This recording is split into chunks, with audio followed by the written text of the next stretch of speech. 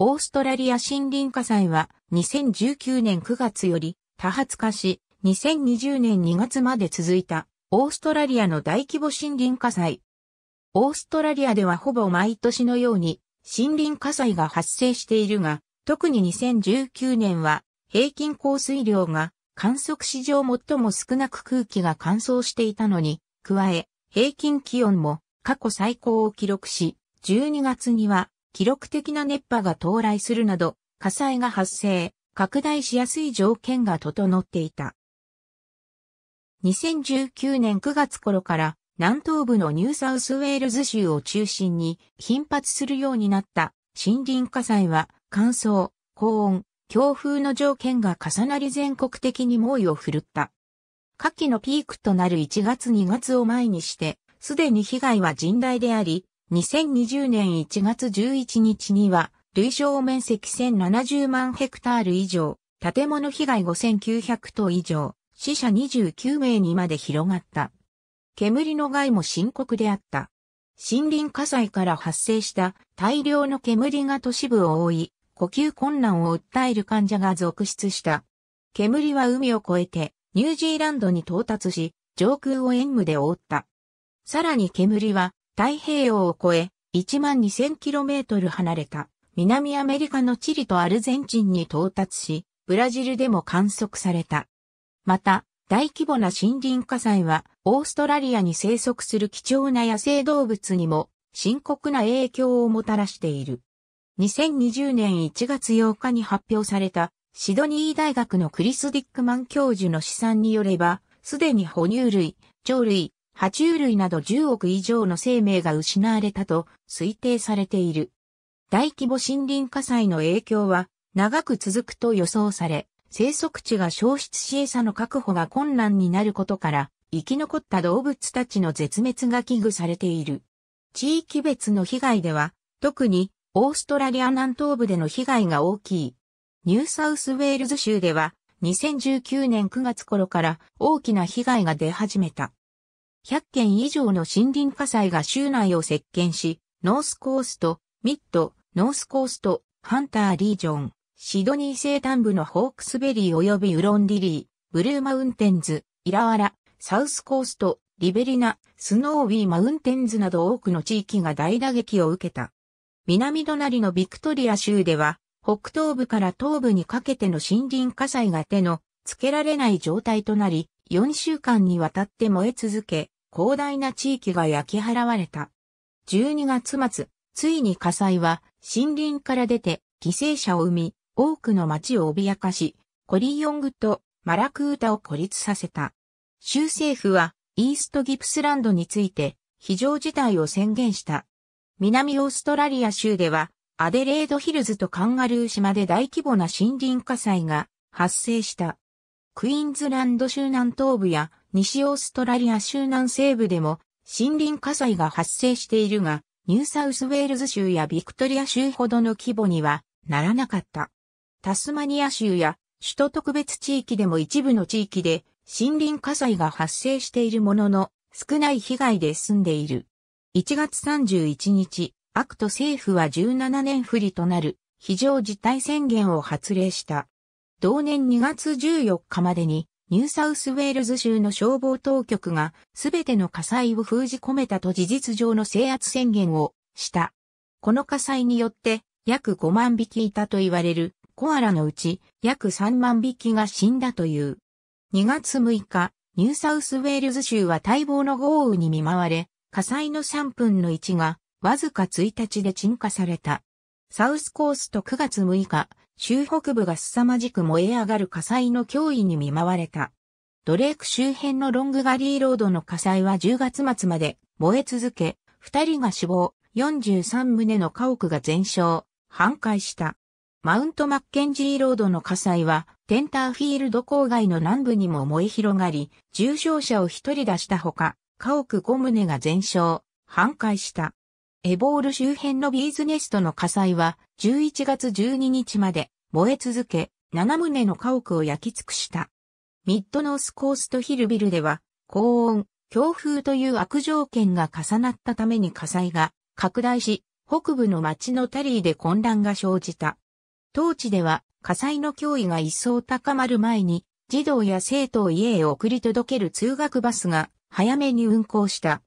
11月9日には火災がオールドバート、わらび岬に達し、数多くの建物が脅威にさらされた。さらにその2日後には、ティノニーやタリーサウスにまで到達し、タリーサービスセンター目前まで炎が迫った。消防飛行機は本、サービスセンターを防護するために施設に水を投下した。その後、火災はわずかな間、ナビアックの方に燃え広がったが、風に煽られて、フェールフォードの方に転身した。その他、レインボーフラットコピンガットクリンガットパーフリートが被害を受けた。最終的に313平方キロメートルを燃やし尽くした。リンゴトップス国立公園では、ボヤが非常事態宣言を発布する大火までになり、小さな村のボビンでは、多数の家屋と公立学校が火災で焼損する被害が出た。2019年の世界ラリー選手権の最終ラウンドとして設けられていたラリーオーストラリアは11月14日から17日にかけてコフスハーバーで開催される予定だったが、開催日の1週間前から火災が周辺地域に悪影響を与え始めた。状況の悪化に伴い、主催者は大会縮小に動き出したが、さらなる状況悪化を受けて出場チームらから競技の中止を繰り返し求められ、開催目前の11月12日に開催中止が発表された。ブルーマウンテンズとホークスベリーゴスパーズ山の火災11月に、ウォレマイ国立公園のゴスパーズ山で大規模な火災が発生し、4970平方キロメートルが焼き尽くされ、ホークスベリーとリスゴー地域の家屋が火災の脅威にさらされた。この火災はセントラルコーストカウンシル方向に燃え広がり、ワイズマンズフェリーをはじめとする家屋が火災に巻き込まれるのではないかと予想された。ブルーマウンテンズをゴスパーズ山の山火事から守るため、消防隊は12月14日にマウントウィルソンとマウントアーバインで計画的な野焼きを敢行した。しかし、過剰な燃料と不安定な気象条件がために、計画的だったはずの野焼きは急速に管理できなくなり、マウントウィルソンとマウントアーバインの家屋を火災の危険にさらすこととなってしまった。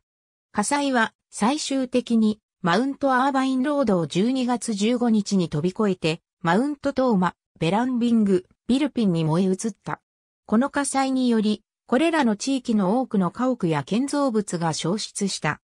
ベルズラインオブロード沿いの焼損した道路標識オーストラリア国防省はこの火災に対応するため、統合任務部隊を編成し、陸海空軍が合同で、各地消防当局と共に被災者救援にあたる、ブッシュファイアアシスト作戦を発動した。オーストラリア空軍は、各地消防当局が保有する消防機の運用のサポートや物資の輸送を行った。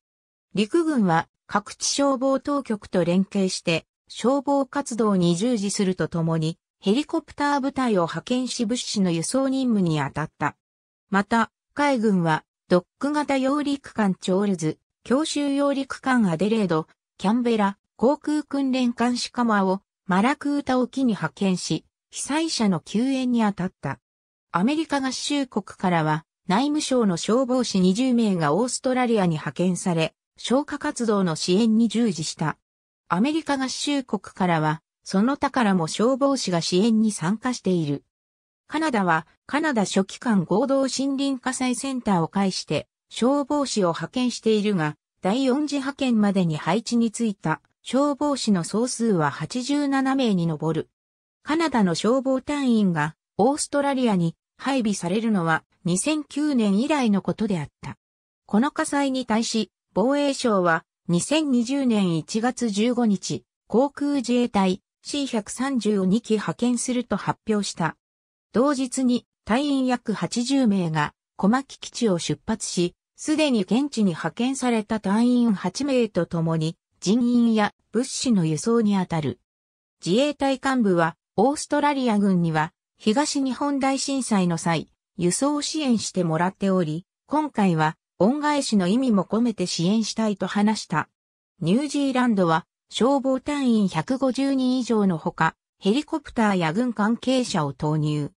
フィジーはフィジー軍人道支援、災害救助招待と専門家を派遣し、オーストラリア森林火災の復興支援に従事させた。2020年1月6日、フランス大統領、エマニュエル・マクロンは声明を発表し、森林火災への対応について支援の用意があることを表明した。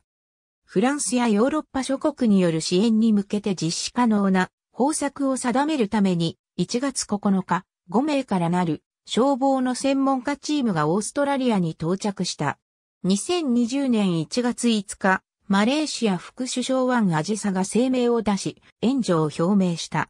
1月13日、マレーシアから40名以上の消防士が正式に配備され、消火の支援に当たった。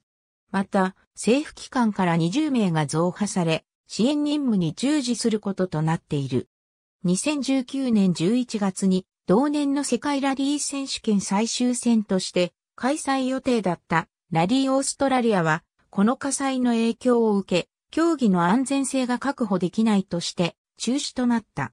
2020年全豪オープンテニスの練習セッションにてスロベニアのダリア・ジャクポビックがスイスのシュテファニー・フェーゲルトの試合途中、大気汚染の影響で胸を押さえてかがみ込み、途中棄権した。